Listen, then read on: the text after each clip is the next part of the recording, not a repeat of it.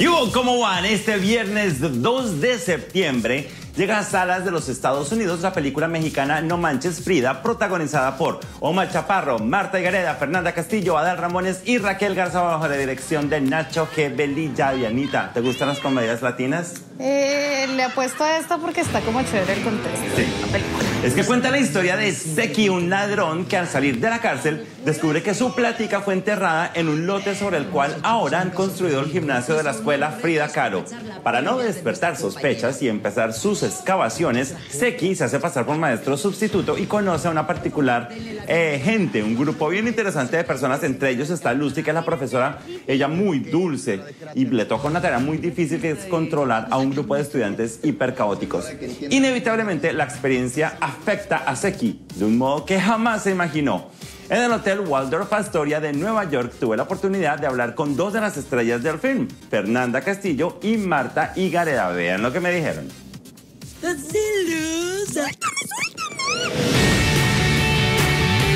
Las mujeres de No Manches Frida están sentadas aquí conmigo.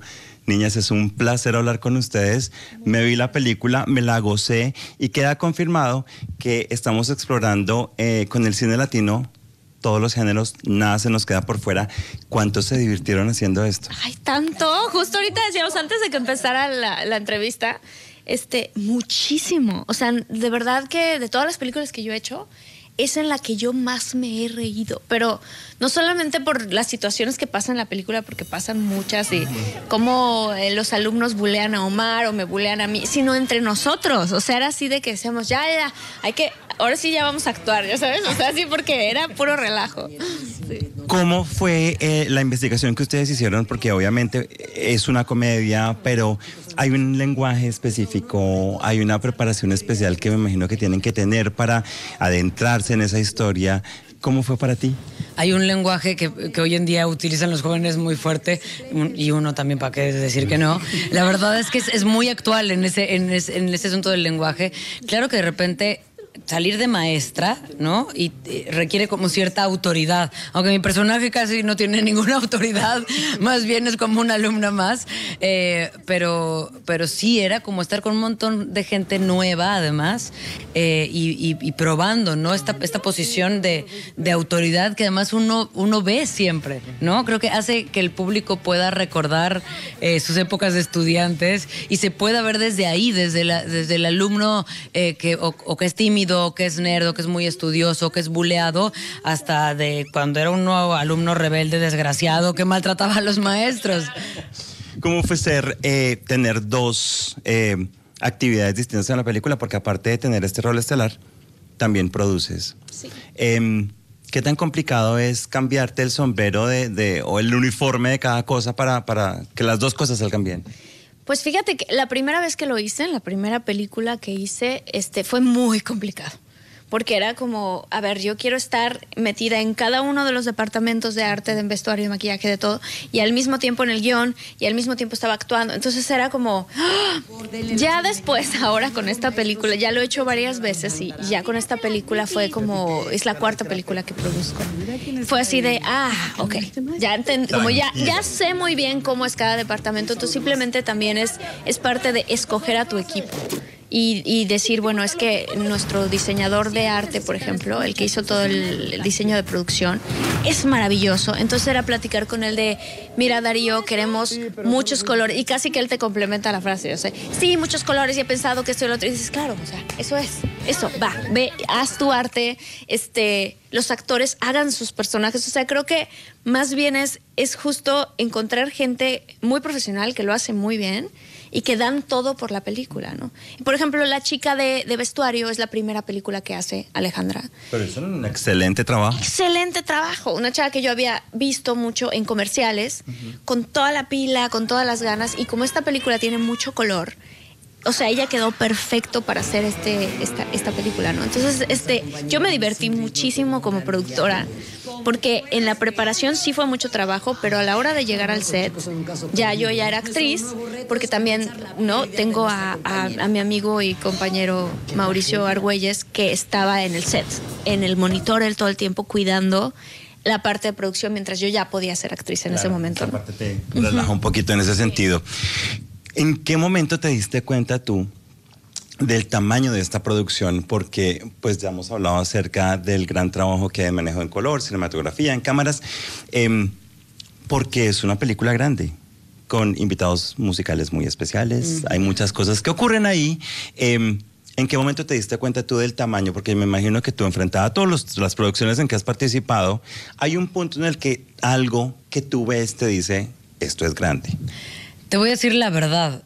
Eh, a Marta algo que le admiro muchísimo y que yo lo llamo el fenómeno Marta y Gareda, es que es una mujer eh, que, que, produce, que está, está produciendo y, actuando en la película al mismo tiempo que está escribiendo un guion, al mismo tiempo que está pensando en qué otra cosa producir, al mismo tiempo que yo creo que está tejiendo chambritas en su, en su camerino, ¿no? Y, o, cocinando al mismo tiempo en el camper.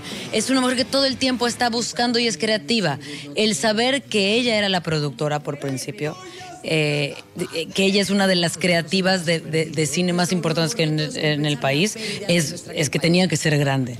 Y cuando tú ves el equipo en el, en el callback, por ejemplo, eh, cuando a mí me hicieron prueba, que llegó Marta, que llegó el director, que es un, director español eh, increíble, que ha hecho muchas cosas de comedia y de una comedia muy inteligente, cuando ves gente como Mar, y cuando lees el guion, está también escogido, dices, esto es que esto va a ser un éxito así fuera así de chiquito, ¿no? Después, claro, la producción eh, sale, reluce de lo brillante que es en todos los aspectos, eh, pero creo que el primer sello es que la, hiciera ella, ¿no? O sea, el, hecho de que, una mujer inteligente, eh, que, hace mucho cine, esté de repente como tan metida con una, con una historia y que hay un buen guion, eso ya es un pro. Claro y hablamos del vocabulario. Antes mencionaste algo, o tú, de la forma en que los jóvenes, los más jóvenes, eh, se hablan entre ellos. ¿Alguna vez te imaginaste que ibas a decir las cosas que dijiste en esta película o fue fácil decirlas enfrente de una cámara? ¿Sabes qué, qué, es chistoso? Porque tomamos esa decisión como productores, la tomamos desde el principio. O sea, teníamos dos maneras. Una era hacer una película completamente blanca en el sentido de que no se dice una sola grosería en toda la película, o hacer una película que tuviera un corazón de oro y que los jóvenes y los adultos que van a ir a ver la película se van a identificar. Y para nosotros era más importante eh, ahorita yo creo que hay tantas formas de entretenimiento para los chavos, ¿no? O sea, está desde eh, Netflix, las series, hasta Pokémon Go, hasta lo que hay en cartelero. Hay tiene todo el mundo obsesionado. Sí, hay tantas opciones que más vale como productores darles algo que digan, ah, es, sí me identifico, no, no me están mintiendo. Me están contando una historia muy divertida con un lenguaje muy real. Y eso es lo que, lo que logra No Manches Frida. Y es un mensaje que a la vez es muy importante y yo lo sentí así cuando estaba viendo la película. Y es que el modo en educación de llegarle a la gente joven es hablarles en su lenguaje y en hacer que todo el discurso educativo gire alrededor de lo que ellos son. ¿Tú cómo viste ese aspecto cuando leíste el libreto y viste de lo que trataba la película, el guion, perdón? ¿Cómo viste eso? Es que es eso, es la realidad, ¿no? Eh, eh, lo que hace muy bien Seki con los estudiantes como maestro es mostrarles la realidad, decirles, yo no les voy a mentir, no les voy a decir que esto no está increíble desde donde ustedes lo ven, ¿no? Pero les voy a enseñar las consecuencias de la vida. Y entonces eso, eso hace que, que sus cabezas cambien, ¿no? Y que, y que puedan ver el, el, panorama completo. No te voy a enseñar nada más para que no voltees. Eh, no, voltea, voltea a ver para todos lados. Pero date cuenta que eso que ves muy bueno y muy reluciente tiene su parte mala, ¿no? Entonces es, es la película es muy realista en ese sentido. Y por eso yo creo que necesitaba ese lenguaje eh, que Marta no está acostumbrada pero yo sí, la verdad. Entonces creo que es, era muy importante que fuera así de realista y de contundente porque tiene un mensaje muy...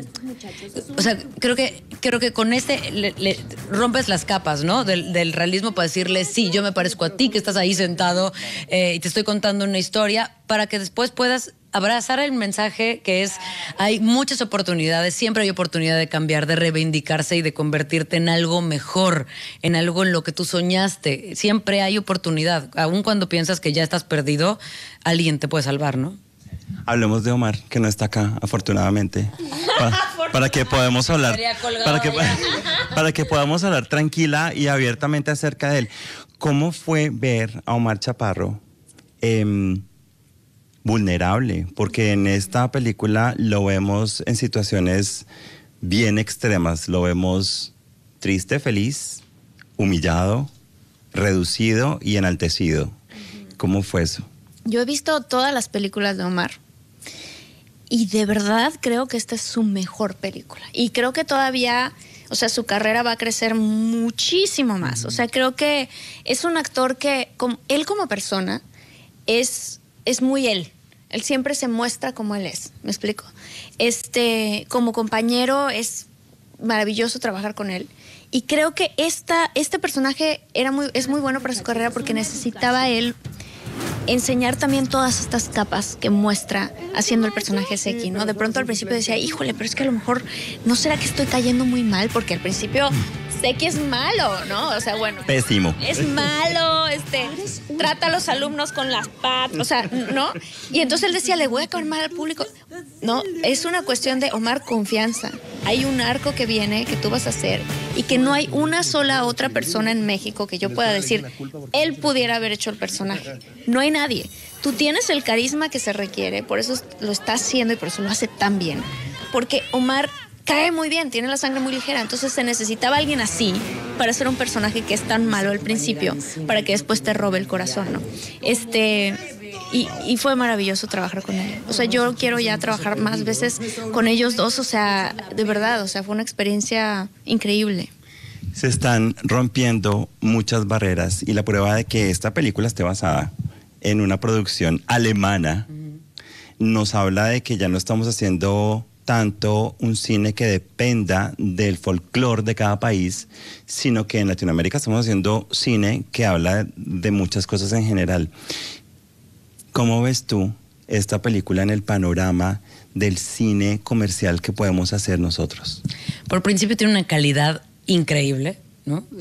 se ve lo que es de la fotografía, eh, de las locaciones, eh, de lo diseñados que están cada uno de los personajes. Tiene una calidad a la altura de cualquier comedia eh, de Hollywood, o sea, no, no le pide nada. y creo que además es un tema universal.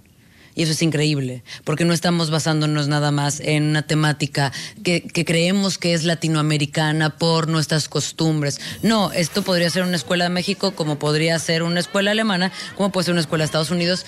Está hablando de emociones, entonces se sale de este cine que solamente nos interesa a nosotros, o podría interesarnos solo a nosotros, para convertirse en un cine que es para seres humanos, ¿no? Y, y así se le abren las puertas. Y creo que es muy importante estar haciendo eso, ¿no? Fíjate que alguien nos comentaba, yo, yo fui a verla porque tenía, hemos dado ciertos como screenings que hemos hecho para la gente antes de, antes de, hemos testeado la película, etc.